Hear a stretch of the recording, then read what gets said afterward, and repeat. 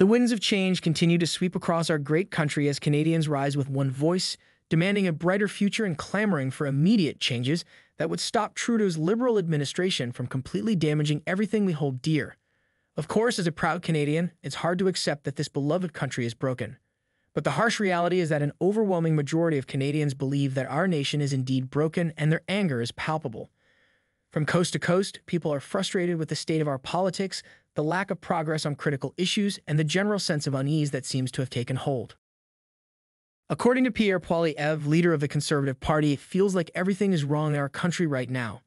The statement made headlines, and he has continued to use it. He repeated the sentiment, this time in French, at an address to his caucus last week. When a feeling is a catchy sparring point between party leaders and pundits, that's one thing. But when two thirds of Canadians agree, that's a whole other ballgame. That Canadians are in a bad mood is hardly surprising, given the widespread belief that nothing is working well in the country. According to a recent national opinion poll led by Andrew Enns, executive vice president of the market research firm Leger, 50% of Canadians are angry and 20% are very upset about how the Liberal government is handling the country.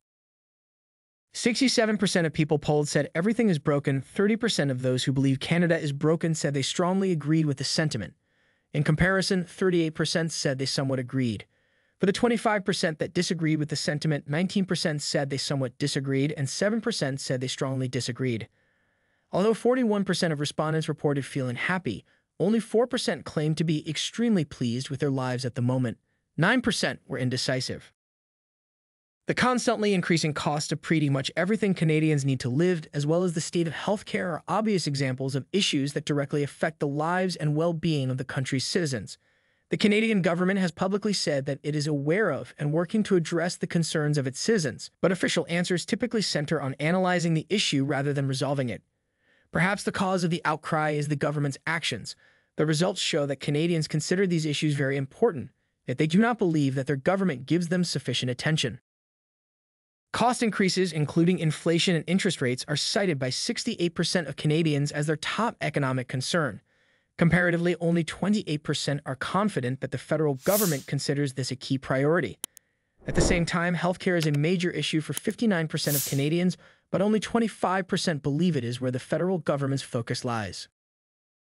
The numbers are a warning, Andrew Enns remarked while stating that in a government, regardless of what level, federal, provincial, or municipal, the general population is the customers.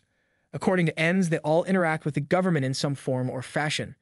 These are their opinions, and they're basically saying they don't like how business is running right now. Enns also said his team heard talk for months that our systems are seemingly falling apart. He saw examples of it too, with enormous waits for passports, frustrating airport delays, and fast rising grocery prices. Apparently, if the poll captures the mood of the nation, then it translates into a lot of anger in a lot of places from a lot of people. About 50% of the population has an income of fewer than $40,000 gross or around $33,000 net. Given that the average rent for a one bedroom apartment is around $1,800 per month, simple math will indicate that a vast number of Canadians are in a hopeless situation. On top of the stagnating real incomes, the healthcare system is broken, public education is a joke, and even universities have become centers of indoctrination into the absurdly ridiculous world of the woke. As if that's not enough, is scandal after scandal. Laws passed against the people's will, more carbon taxes that affect the cost of everything, and the ever increasing public debt with no accountability. Then there are the ridiculous and unending climate change rules, the unwillingness to exploit and sell our oil to lower our debts, and the unending policies against the freedoms of law abiding Canadians while the real criminals hardly get a slap on the wrist. Cities are increasingly populated by drug and alcohol addicts and homeless people. Consequently, we are less free, more prone to economic hardships, more disenfranchised, and more divided. Yet the Trudeau government just looks on because this is all going exactly according to plan. Meanwhile, it would be interesting to know that Ottawa has spent $139 million in taxpayer money on COVID 19 campaigns since the pandemic began, according to a summary of advertising and media costs accumulated by the federal government the federal government spent $4,494,710 on national COVID 19 advertising in 2019 and 2020. The total increased to $72,805,066 in 2020 to 2021 fiscal year. And from 2021 to 2022, advertising for COVID 19 saw a slight decrease in spending down to $62 million $12,941. In total, Canadian taxpayers have been charged a total of 139,312,717 taxpayers' dollars for media costs associated with COVID-19 as of this year. According to the latest reports, most of the budget went to more conventional forms of advertising, including television and radio, while 47% went to online and mobile platforms.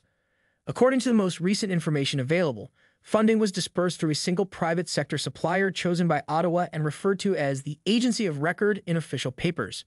According to a report from the Public Health Agency of Canada, media advertisement alone on COVID 19 was pegged at $61,779,631. That's right, $130 million, an unprecedented amount of money spent promoting COVID 19 related messages. But the recurring question is what is the need for such a massive expenditure, especially when Canadians are struggling with other critical issues such as healthcare and education? And while the Liberals may argue that the spending is necessary, many Canadians are starting to ask where is all this money going and who is benefiting from it? Of course, expect Justin Trudeau to come out with his typical line of I get it. People are having trouble paying bills, the cost of living is high, and so is inflation. It sucks. Men Q. But we had the people's back during the pandemic. Justin Trudeau repeated the same typical liberal script in the recent House of Commons session, where he was placed in a hot seat by Conservative Parliament member Melissa Lantsman. Watch this of this prime minister's out of control spending that even liberals are starting to notice. Liberals like Bill Morneau, who said the federal government lost the agenda, and Mark Carney, who called inflation homegrown. These aren't just random liberals, as the prime minister says. They were some of the prime minister's biggest defenders. They want to know, and Canadians want to know, when will this prime minister show some humility, admit responsibility, and end his reckless inflationary spending? Mr. Speaker, Canadians remember well in the depths of the pandemic when uh, people pulled together we stepped up to support people. We stepped up to support our neighbors. Frontline health workers stepped up uh, to support people. These are the things uh, that got Canada through this pandemic with a better record and fewer deaths uh, than just about uh, uh, any of our peer countries. There's uh, a lot of work to continue to do to support Canadians, and this government is unequivocally standing with Canadians to support people who need that help to create better opportunities as we grow the economy for the future. Hear, hear. The honourable member for Thornhill. Mr. Speaker, the Liberals can talk about the billions they spent all they want. But never in this country has so much money brought so few results. After eight years, the facts speak for themselves. The highest inflation in 40 years, the highest interest rates in a generation, the highest home prices ever. Mr. Speaker, a new poll suggests that 45% of Canadians with variable mortgage uh, rates will have to sell their homes in under nine months. They can say it, but Canadians know that everything's not okay. So I'll ask again will he show some humility and admit responsibility? Wow. Honourable Prime Minister.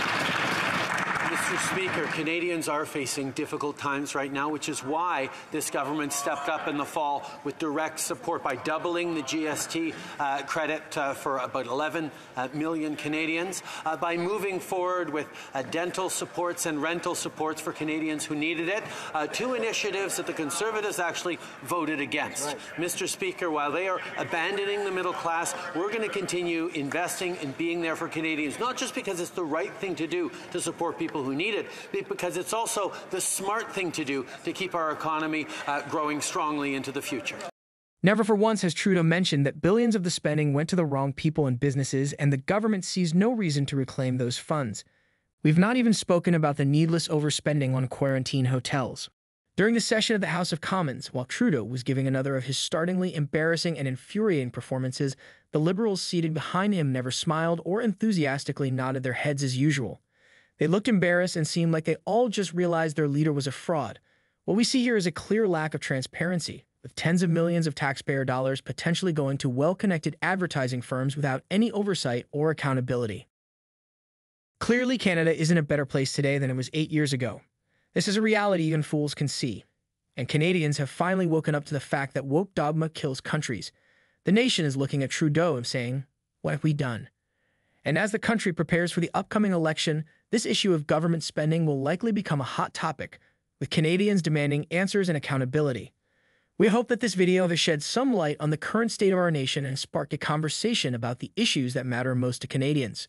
Remember, your voice and opinions matter, So please share this video with your friends and family and let's know your thoughts in the comment section below. Also, be sure to subscribe to our channel for more in-depth analysis and coverage of the most pressing issues facing our nation. Thanks for watching and see you in the next upload.